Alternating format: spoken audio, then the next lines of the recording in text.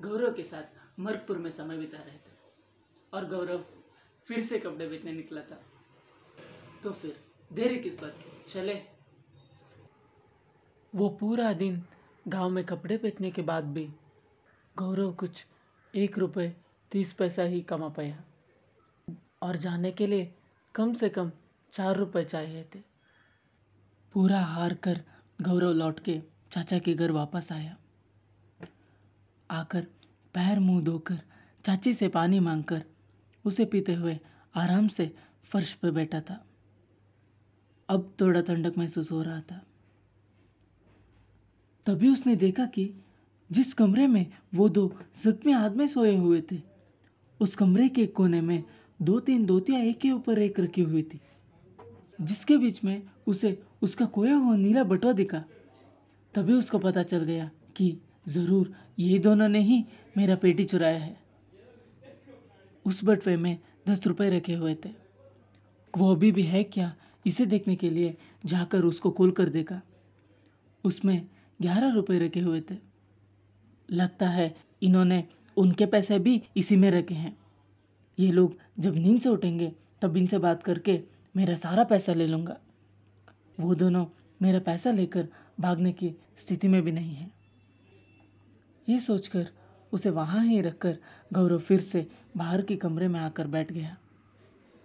अंधेरा हो चुका था। रात के कुछ साढ़े सात बज रहे थे। चाचा जी खेत से लौटकर घर आए। थोड़ी देर बाद जब वो धोती बदलने आए तो उसी ढेर में से धोती उठाई। अब गौरव को आश्चर्य हुआ। तब उसको याद आया। अगर तुम्हें पैसा चाहिए तो कोई गलत कामी करना पड़ेगा। तभी चाची ने खाने के लिए बुलाया। गौरव खाने के बाद चाचा से सही से बातचीत करके मेरा पैसा वापस ले लूँगा। सोचकर खाने के लिए रसोई में सबके साथ जाकर बैठ गया। जब वो खाना खा ही रहे थे तब उन जख्मी लोगों में से एक ने गौरव से पूछा, हम लोग कल सुबह नौ बजे बैलगाड़ी से पास के रेलवे स्टेशन जा रहे हैं। तुम चाहो तो हमारे साथ चल सकते हो। तब गौरव ने एक मिनट सोचा, फिर बोला, ज़रूर, मेरा पैसों का इंतज़ाम हो गया है। तुम्हारे साथ मैं भी चलूँगा। गौरव खाने के बाद जाकर आँगन के पास बैठ के चाचा से बात कैसे शुरू करूँ? उनसे बात करूँ क्या? यही सोच रहा था। फिर बीस मिनट सोचने के बाद उसने ये फैसला किया कि चाचा चाची उतने भी बुरे नहीं हैं, उनके भी मजबूरी है।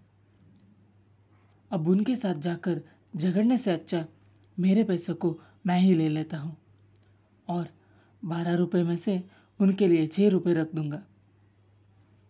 और वैसे भी छः रुपये मेरे जाने के लिए ज़रूरत से ज़्यादा है। और वहाँ जाकर मामा से थोड़ा पैसे ले लूँगा। और उससे ज़्यादा इन लोगों ने मुझे दो दिन तक खाना दिया, रहने के लिए जगह दिया। मेरी मुझ पर दवाई लगाई, जब मेरे पास कुछ भी नहीं था। तो ऐसा करना ही सही होगा। सोचकर गौरव अंदर गया। कुछ ही देर में दस बज गए और सारी दिया बुझाकर सब लोग सो गए। गौरव ऐसे ही सोने का नाटक कर रहा था। कुछ एक घंटा ऐसे ही लेटा रहा। अब हर तरफ़ बिल्कुल ही सन्नाटा था। फिर सब लोग सो गए, ये पक्का करके गौरव धीरे से चद्दर नीचे करके वहाँ से उठा।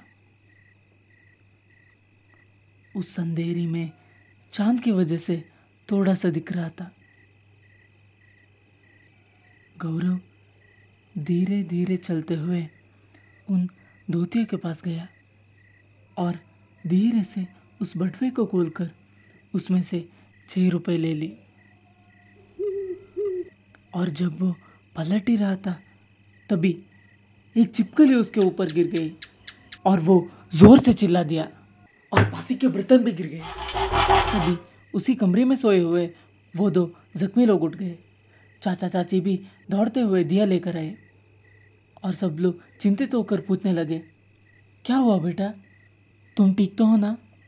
तभी चाचा जी ने गौरव के हाथ में वो पैसे देखे और गौरव को शक की नज़र से देखते हुए चाचा जी ने पूछा ये क्या है तुम्हारे हाथ में? और आकर बटुए को खोल के देखा। फिर पलट कर गौरव की तरफ़ देखते हुए पूछा, तुम यहाँ चोरी कर रहे थे? गौरव के मुँह से बात ही नहीं निकल रहा था।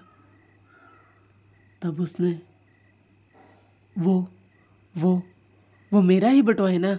इसलिए इसे वापस लेने आया था। तभी चाचा जी, तुम्हारा बटवा तुमने ये कैसे मान लिया कि ये तुम्हारा बटवा है? ये मेरा है? पता नहीं कितने सालों से मेरे पास ही है। और अगर ये असल में तुम्हारा बटवा ही होता तो तुम मुझसे पूछने के अलावा ये चोरी की तरह क्यों ले रहे हो? और इसमें से सिर्फ़ आधे पैसे ही क्यों लिए? पूरे बटवे क्यों ले लेते। गौरव के मुँह से शब्द नहीं निकला।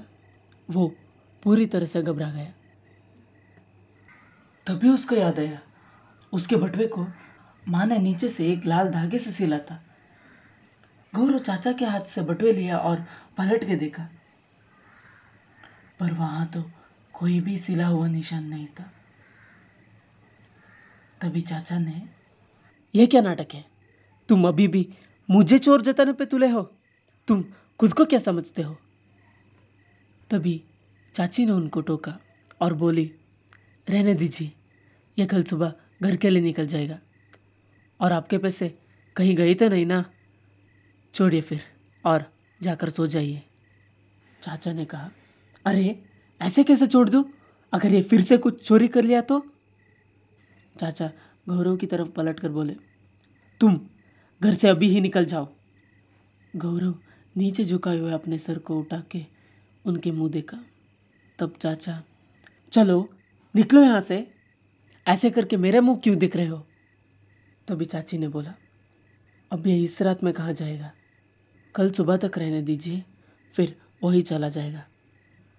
तभी चाचा ने, अगर ऐसा है तो बोलकर गौरव के हाथ पकड़कर उसको रसोई के कमरे के अंदर लेकर गए और बोले, मैं इसका दरवाज़ा कल ही खोलूँगा। बोलकर दरवाज़ा बंद कर दिया। और कैसे कैसे चोरों को जगह दे दी। कहते हुए सोने के लिए चले गए। सारी दियो को फिर से बुझा दिया। अब थोड़ी देर में फिर से सन्नाटा और अंधेरा छा गया।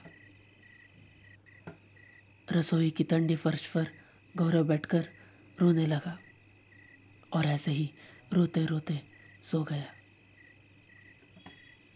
फिर अगली सुबह होते ही चाचा ने दरवाज़ा खोला। बाहर बैलगाड़ी तैयार थी। गौरव किसी से आँख नहीं मिला पा रहा था। अपनी पेटी लेकर बैलगाड़ी में जाकर बैठ गया। गौरव के पास अब ना पैसा था, ना पहनने के लिए सही कपड़े, क्योंकि सारे सही कपड़े तो कल ही बेच दिए थे। अब बैलगाड़ी चल पड़ी, रेलवे स्टेशन की ओर।